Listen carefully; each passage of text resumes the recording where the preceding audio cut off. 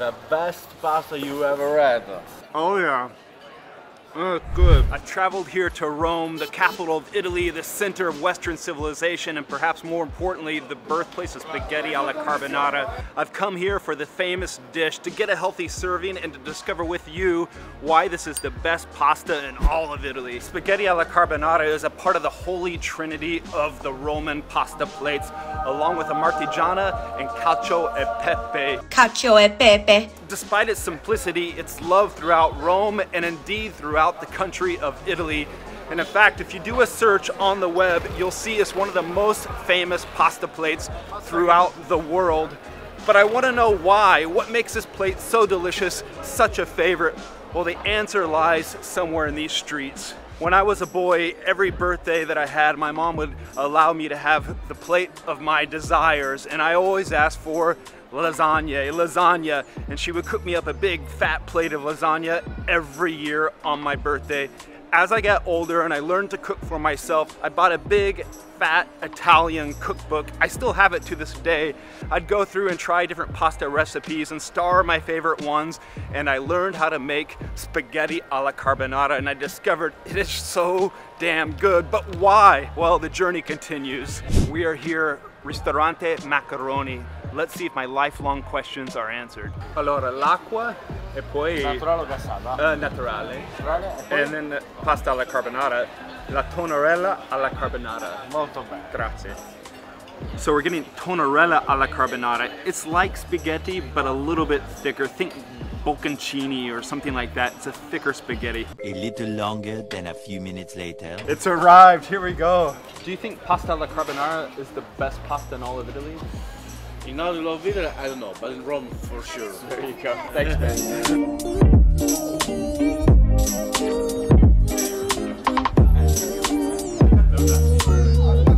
Mm. The taste. Why is this so damn good? Although it boasts eggs, it has a ridiculous amount of sharp, pungy pecorino cheese, goat's cheese, and savory, salty pork. Just take a minute to enjoy this. We are sitting in Rome, the cradle of Western civilization, enjoying spaghetti alla carbonara. Oh yeah, oh good. Fresh Italian ingredients, the Roman air, it's all absorbed into this one dish, making the carbonara experience even more magical. Mm. Now I want to explain more about this pasta and why the story stuck with me.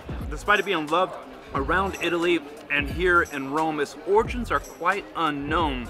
There's one theory that the Carbonari, the woodcutters and the charcoal makers who lived northeast of Rome in the Apennine Mountains, well they would cook their pasta over hardwood and charcoal and toss it with some eggs and cheese.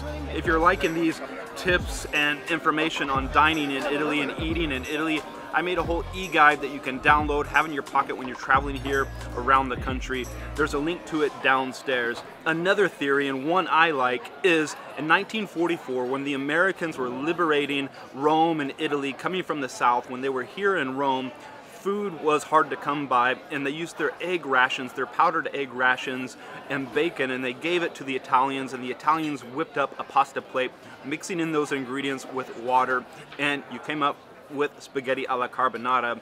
And I also think that the Italians wanted to make the Americans something similar to what they were having at home, eggs and bacon. If you guys are enjoying this video, hit the like button. That helps the video get enjoyed by many more. And if you haven't yet subscribed, I know a lot of you aren't yet subscribed, make sure to click that subscribe button down below so you're not missing out on any of my upcoming videos.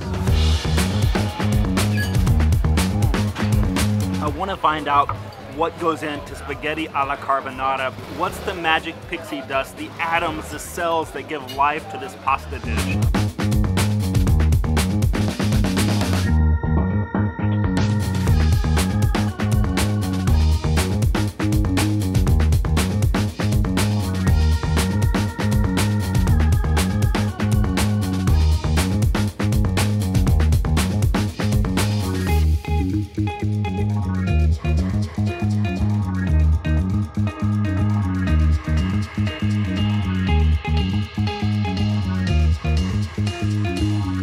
Okay, we're getting a look at the No, kitchen. no. Oh, no? Da, da finestra. Eh, vorrei vedere la pasta carbonara come si fa. Ok, tra un po'. Ok, quando sei pronto. Lo stiamo per fare. Valerio, giusto? Valerio, Valerio. Valerio.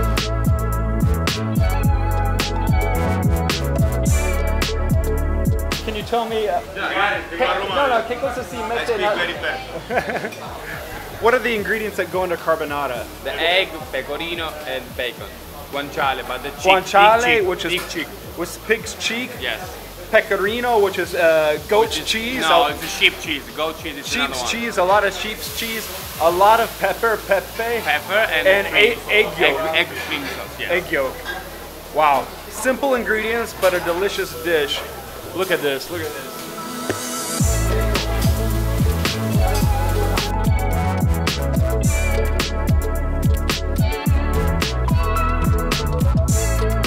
Migliore pasta in Italia, la carbonara. È romana, forse è la pasta di Roma. La più famosa pasta romana. Why is it so famous?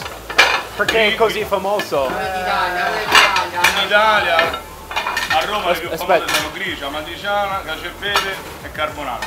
Quale tu preferisci? Io preferisco la matriciana.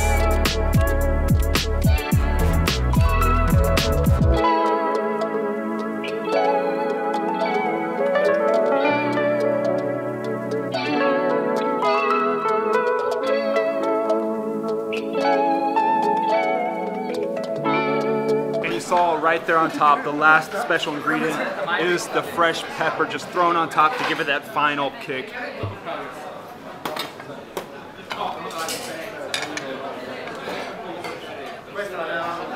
Ciao. Ciao. Ciao, bye.